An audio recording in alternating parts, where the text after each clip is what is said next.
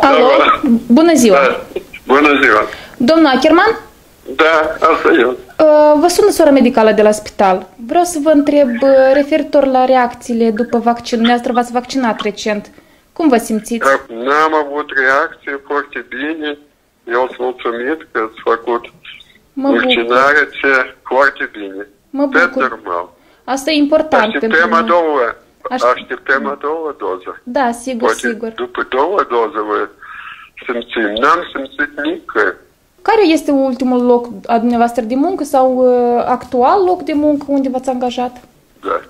Eu sunt director firmei, firma Ackerman LM. Am înțeles. Vă mulțumesc frumos. Și Ok. o concretizare. Cu Pfizer v-ați uh, vaccinat, așa? Da, cu Pfizer, da. Alo? Domnule Efim, bună ziua! Bună ziua! Vă sună sora medicală de la spital. Vreau să vă întreb uh, referitor la reacțiile după vaccin. Cum vă simțiți? Э, Замечательно. N-ați avut reacție adversă, nu? Никакой абсолютно. Ам. Абсолютно ничего. Foarte bine. Care este locul dumneavoastră de muncă, actualul sau ultimul loc unde ați lucrat? Все годы директор фирмы Torero ОПВ. Am înțeles, vă mulțumesc frumos. Și încă o întrebare, dumneavoastră cu Pfizer v-ați uh, vaccinat, așa? Да. Алло, да. Doamna Раиса, bună ziua! После вакцинации как вы себя чувствуете? Спасибо, все хорошо. Нету никаких реакций, да? Нет, нет. Последнее место работы или э, актуальное? Оно постоянно одинаковое. Магазин Акерман. Alo, domnul Gheorghe, bună ziua! Cum vă simțiți după vaccin? Ну, ну, ну. Nu, foarte bine. Și încă un moment, locul dumneavoastră de muncă actual sau ultimul la care ați fost angajat? Milionar. Alo? Doamna Verica, bună ziua! Bună ziua! Vă sună sora medicală de la Spitalul de Iedneț. Vreau să vă întreb cum vă simțiți după vaccin? Bine, parcă. Nu aveți febră, uh, amețeli, grețuri? Nu, dar trecut o bucată. Mă rog, nu, la nu, unii nu. e continuu, de asta și întreb. Care este locul dumneavoastră de muncă actual, ultimul? CTAS Iedineț, Casa Teritorială de Sigurări Socială. Da. Alo, doamna Anatolie, bună ziua! Bună ziua! Vă sună sora medicală de la spitalul din Iedineț. Cum vă simțiți după vaccin? Reacție adversă aveți sau nu? Nu, nu avem nicio reacție. Uh, locul dumneavoastră de muncă? Oficiu Iedineț, țară Nord. Vaccinul Pfizer v-ați Da, vaccinat. da, da, da, da. Am înțeles. Doamna Leona, bună ziua! Cum vă simțiți după vaccin? Bine mă sunt. Eu nu m-am vaccinat la spital. Totul este completat în registrul de vaccinare. Alo? Da. Doamna Claudia, bună ziua! Vreau să vă întreb cum vă simțiți după vaccin? Binișor. Nu ați avut reacții adverse? Febră, mețel, grețuri? Da, da. Ați avut, da? Febră, da. 38 și 3 îmi pare că. Am înțeles. Și durere în corp, n-am putut să merg, nici la serviciu n-am ieșit a doua zi. Mhm. Am înțeles. Care este locul dumneavoastră de muncă actual? Primăria Iedineț. Alo? Alo? Doamna Luminița, bună ziua!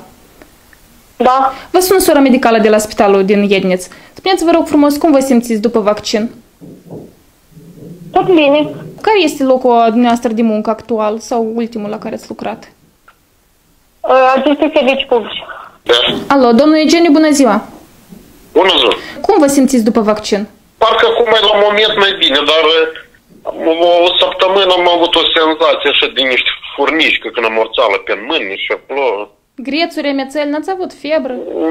Nu, nu, nu. Soția a avut o leag de febră, o leag durere de cap a avut. Și eu o leag că nici durere de cap a două zi. Dar în rest așa mare, Am înțeles. Acum vă simțiți bine, da?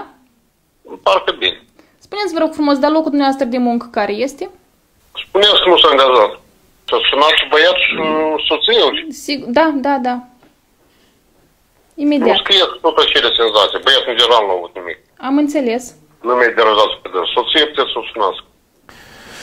Cristina, vreau să-ți mulțumesc pentru acest experiment pe care l-am făcut, pentru telefoanele pe care le-ai dat la, acești, eh, la aceste persoane care nu sunt medici, nu sunt persoane expuse riscului de COVID-19, dar au avut tupeul folosindu-se de pârghire de influență care le au, de banii care le au, de relațiile cu cumetru care se află într-o funcție importantă la nivel raional și s-au vaccinat înaintea medicilor. Uh, urmează să arătăm întregii țări, dar și comunității internaționale cât de idioți pot fi unii care dețin funcții publice și cât de mult au coborât atunci când au pus mai prioritar pe cumătru, pe verișorul, pe nănașul, pe altcineva decât medicii care sunt eroii noștri. Este dezastru ce se întâmplă în Republica Moldova, la nivel pandemic. Dar mai grav este că funcționarii statului de diferite nivele, fie din raion sau la nivel republican, care oamenii le-au dat puterea și le-au încredințat viața și soarta lor, își bat joc, fac abuz de funcțiile pe care le dețin își pun mai important fundul lor pe care îl țin doar în fotolii moi decât prioritatea medicilor. Deci, avem mai multe informații liste din mai multe raioane unde mai multe persoane care nu sunt medici au fost vaccinați în mod prioritar, fiind înțeles cu, cu metru, care obține o funcție importantă la nivel raional și a pus prioritate pe cumătrul său. Fie că este o persoană care face business, fie că este o persoană care nu are niciun loc de muncă, sau fie că este o persoană apropiată din familia sa, pe ei o vaccinat înaintea medicilor. Este foarte grav, este strigător la cer și noi astăzi am făcut un exercițiu prin care i-am developat pe acești funcționari corupți și obraznici, care S-au vaccinat ei, cu mătrii, nănașii și tot neamul lor, negândindu-se la medici. Oamenii aceștia salvează mii de vieți omenești. Dar ei nu s-au gândit la ei. Ei s-au gândit că viața lor de funcționar corupt și abuzuri pe care le fac este mai scumpă decât viața medicilor care puteau salva sute sau chiar mii de oameni. Viața lor de funcționar este mai importantă decât viața bătrânilor care au prioritate în a fi vaccinat sau a profesorilor care la fel sunt expuși. Noi, Partidul Pace, declarăm război funcționarilor corupți. Toți cei care s-au vaccinat datorită lui Cumetru înainte de termen vor fi developați. Informațiile vin la noi, noi vă vom pedepsi. În ce mod o să vedeți? Până la această etapă este bine ca toată lumea să vă vadă, din țară sau din diaspora să vă pedepsească, să vă sune și să vă spune că sunteți niște porci, niște oameni care nu meritați încrederea lor și nu meritați să dețineți aceste funcții importante în raion. Pedeapsa pe care o să vă aplicăm, publică de altfel, abia urmează. Urmăriți-ne pe noi, aveți încredere în Partidul Politic Pace și dacă ai informații despre un funcționar corupt sau care face abuz de funcție pe care o deține, informează-ne la telefonul care va fi pe ecran sau scrie un mail.